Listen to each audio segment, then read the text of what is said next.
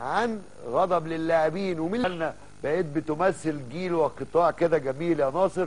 بسرعة كده لأن فاضل لنا دقيقة ونص. قول لي تشكيل للأهلي. كنت لسه أقول للأستاذ جمال. لا اتفضل بقى يا كابتن ناصر. تشكيل الأهلي. الأهلي طول عمره إن شاء الله يعني بإذن الله يعني بإذن الله ال- ال- الأهلي والزمالك إن شاء الله ينتصروا وإن شاء الله يصعد الأهلي ويفرحنا. ويص... وطبعا الأهلي صاعد بس إيه بنقول ياخد طاره من سيمبا بالنسبة للزمالك إن شاء الله سؤال إن شاء الله الزمالك آه، ينتصر. ويصعد والترجي يقدر يدينا ال... ال... ال... الأمل بفوزه على المولوديه والترجي فريق كبير بالنسبة للأهلي وتشكيله الأهلي هيغيب بس عنه ياسر إبراهيم ياسر إبراهيم آه. وطبعا آه، هيبقى آه، بدري بنون بدري. إن شاء الله مساك وهيبقى المساك الثاني اللي, اللي معاه هيبقى أيمن أشرف.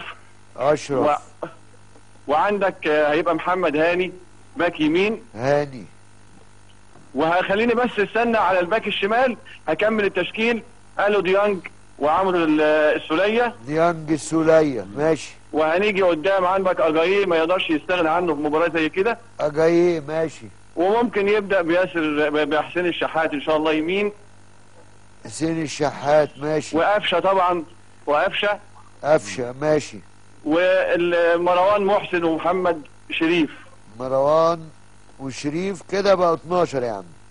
ليه 12 شريف ومروان اتنين اجاييه الشحات أربعة قفشة خمسة ديانج ستة سولية سبعة هاني تمانية أشرف تسعة بدر بنون عشرة ياسر. إبراهيم 11 اللي هو أنا ما قلتش ياسر. إبراهيم، ياسر يا إبراهيم عم مصاب left كابتن. يعني والشناوي يا إما يبقوا الشمال. 11 من غير جون.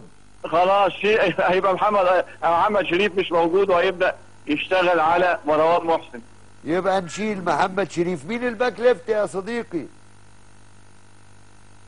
وعندك آه، ومش عارف الأهلي عنده مين تاني للأسف. أنا مش مش حاضرني الباك الشمال عند الأهلي. عنده بيكهام. يلا مفاجأة. هو ساعدك في حل الأسئلة. بيكهام.